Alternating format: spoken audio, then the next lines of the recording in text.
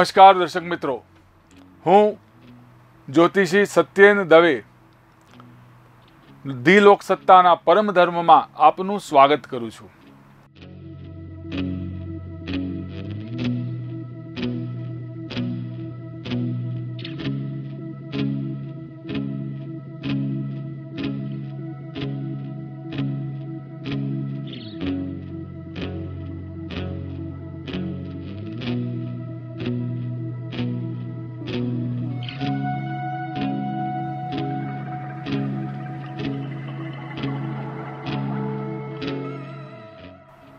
કાળી ચૌદસ, નરક ચતુર્દશી, રૂપ ચૌદસ, ગોગા ચૌદસ.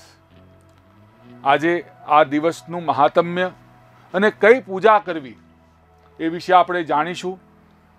મિત્રો, આ દિવસ વિશે ઘણી ખોટી માન્યતાઓ પ્રવર્તાઈ છે, પણ આ દિવસનું મહત્વ ખૂબ ઊંચું છે.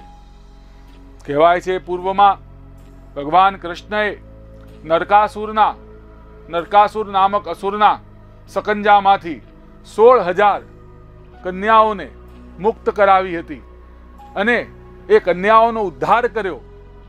એ આ દિવસ છે મિત્રો.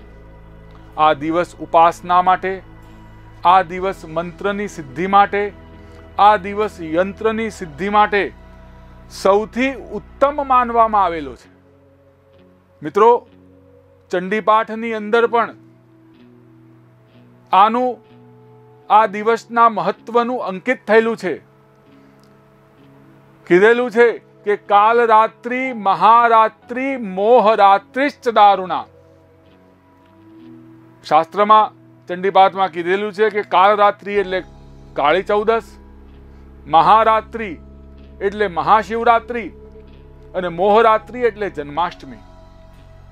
આ ત્રણ રાત્રિઓનું મહત્વ સૌથી ઊંચું બતાવેલું છે. કાળી ચૌદસના દિવસે કોઈ પણ મંત્રની સિદ્ધિ, યંત્રની સિદ્ધિ પ્રાપ્ત થઈ શકે છે. મિત્રો, આ દિવસે રૂપ ચૌદસ હોવાના કારણે સ્ત્રીઓએ બને એટલા શણગાર કરવા, સુંદર શણગાર શણગાર કરી ને ઘરમાં અથવા બહાર જવું. આ કરવાથી આખા વર્ષ દરમિયાન એમના જીવનમાં, એમના વૈવાહિક જીવનમાં કોઈ પણ પ્રકારની તકલીફો આવતી નથી. મિત્રો, આ દિવસે અભ્યંગ સ્નાન એટલે કે ઉપટન, સુગંધિત તૈલના સ્નાનનું પણ મહત્વ બતાવેલું છે. સવારના વહેલા ઉઠીને બને તો ચાર વાગે. અથવા આપને અનુકૂળ હોય એટલા વાગે. ભગવાનનું નામ લેતા લેતા સ્નાન કરવું અને સ્નાન કરતા પહેલા આખા શરીરે ઉપટન અથવા સુગંધિત તૈલની માલિશ કરવી. આ કરવાથી આખા વર્ષ દરમિયાન તમારું જીવન સુગંધિત રહે છે. તમારાથી લોકો આકર્ષિત થાય છે. તમારા કાર્યથી લોકો આકર્ષિત થાય છે. અને તમારા કાર્યમાં તમારી દિવસ રાત પ્રગતિ થાય છે મિત્રો. આ દિવસે ગોગા ચૌદશ એટલે નાગ દેવતાની પણ પૂજાનું મહત્વ છે મિત્રો. ઉત્તર ગુજરાતમાં પણ આ દિવસે નાગ દેવતાની ઉપાસના થાય છે. આ દિવસે નાગ દેવતાને હાથ જોડી ને પ્રાર્થના કરવાથી આપણા ઘરમાંથી દરેક પ્રકારના સંકટોમાંથી આપણને મુક્તિ પ્રાપ્ત થાય છે મિત્રો. આ દિવસે ઘણા ઊંચા પરિવારોમાં, ધન સમૃદ્ધિથી સુસંબદ્ધ પરિવારોમાં એક ખાસ ઉપાસના થાય છે મિત્રો. એ આજે હું આપની સાથે શેર કરીશ. આ કઈ ઉપાસના છે? તો કે આ પરિવારો આ દિવસે ખાસ કરીને રાત્રિના સમયે પવિત્ર સ્નાન કરી અને ઊનના લાલ આસન ઉપર લાલ વસ્ત્ર પહેરીને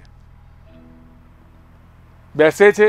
સામે મા ભગવતીનો સિંહ ઉપર બિરાજમાન ચિત્ર અથવા મૂર્તિ અથવા મહાકાલીની સુંદર મૂર્તિ બિરાજમાન કરે છે. એ મૂર્તિને ધૂપ દીપ નૈવેદ્ય અર્પણ કરીને સુંદર મજાના કંકુ ચંદનના તિલક કરીને પુષ્પ અર્પણ કરીને. એ મંત્ર આગળ એક, એ મૂર્તિ આગળ એક મંત્રનો નિત્ય જપ કરે છે. એ મંત્રના જપ કરવાથી એ પરિવારોની અંદર સુખ, શાંતિ, સમૃદ્ધિનો વાસ થાય છે. એ મંત્ર છે,